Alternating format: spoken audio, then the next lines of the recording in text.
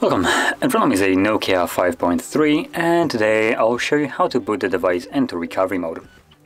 So, to get started you want to hold the power key,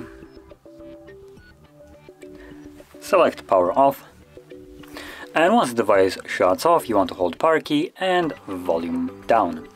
So start holding both of those at the same time. This should take us to the boot mode. There we go.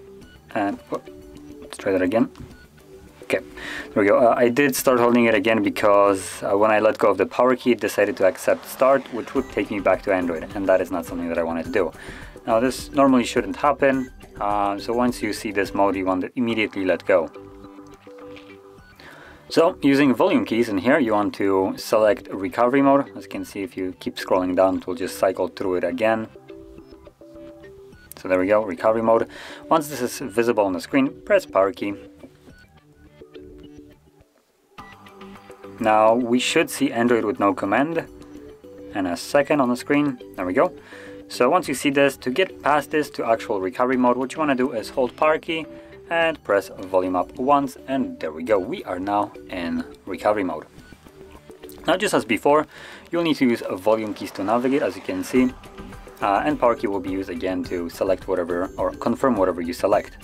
And from here, you can reboot the device and go back to Android, uh, reboot to bootloader, which will take us back to the previous screen uh, where we chose recovery mode.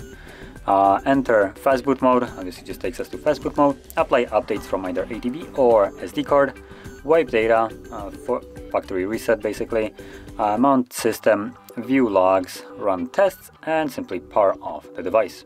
Now whatever you select, like I said, you will confirm with power key. Now because I want to leave this mode, I'm just gonna select reboot system now. Power to confirm it, and we should be going back to Android now.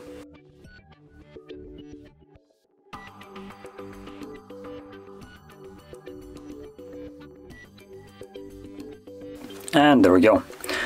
So, if you found this video helpful, don't forget to hit like, subscribe, and thanks for watching.